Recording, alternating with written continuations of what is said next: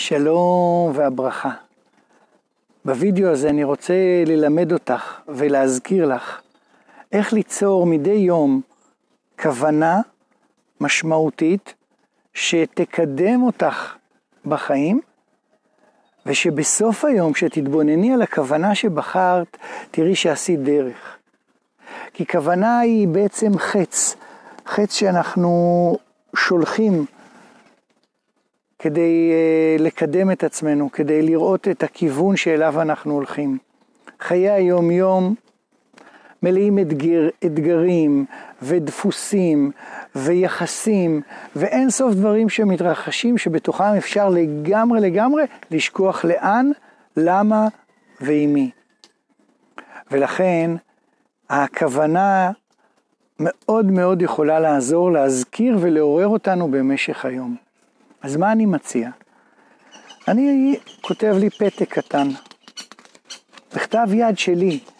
יש גם את הכוונות שתקבלי ממני בסאונד ובהתכוונות, אבל כשאת כותבת בכתב יד שלך, על דף שלך, יש לזה עוצמה, יש לזה תדר, יש לזה אנרגיה שלך. הכוונה, יש לה כמה היבטים. יש כוונה שהיא כוונת מהות, שהיא הכוונה הבסיסית של החיים, ויש כוונה שהיא כוונת הגשמה היומיומית שאנחנו רוצים להגשים. תמיד, תמיד, תמיד אני מתחיל מכוונת המהות, הכוונה הגדולה, הכוונה שנותנת את התמונה הרחבה של החיים. כאן, עכשיו ותמיד, הנני מחובר למקור האלוהי. שימו לב שאני כותב את זה או בלשון הווה או בלשון עבר, אף פעם לא בעתיד. וזאת המטרה וזאת ה...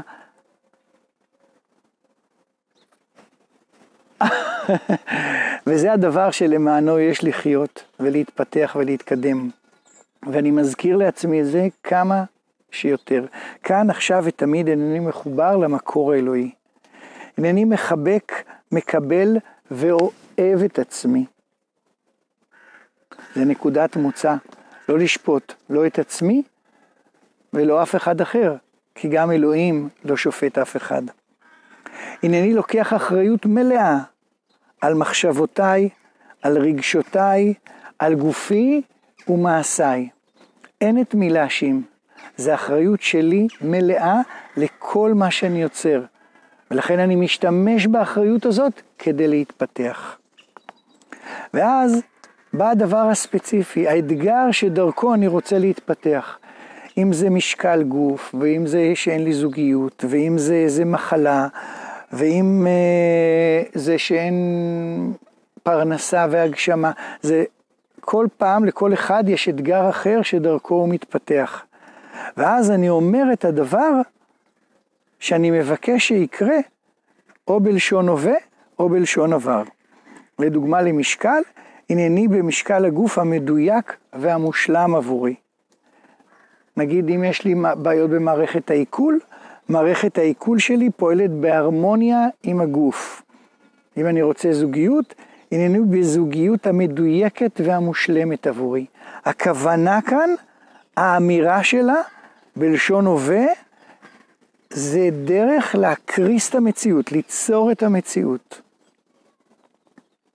אבל כמו שאנחנו יודעים, לכל מצוקה יש סיבה עמוקה, ותמיד כדאי להגיד גם את הסיבה העמוקה.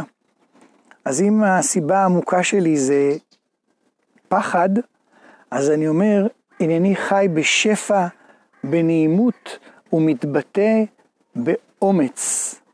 מול הפחד, באומץ. לכל הדף הנפלא הזה אני עושה איזה ציור, ציור שמבטא את הכוונה שלי. ואת זה אני שם בכיס. אף אחד לא צריך לדעת, לראות, זה שלי עם בורא עולם. ואז מדי יום, ככה במשך היום, יוצא לי איזה כמה רגעים, אני פשוט פותח את זה.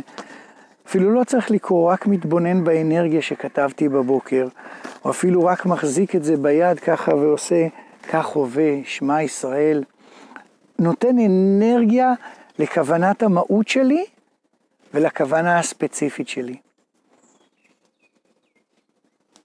והסוד, זה לעשות.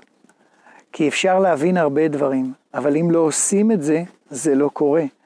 כי בתוך הגוף הגשמי הזה באנו ל... להתנהל בתוך עשייה. אז אני מזמין אתכם לכתוב את הדף הזה, לצאת איתו ליום, להתבונן עליו, וסוף היום לראות, וואו, מה קרה לי. תודה רבה רבה על ההזדמנות לתת לכם מתנה כל כך גדולה,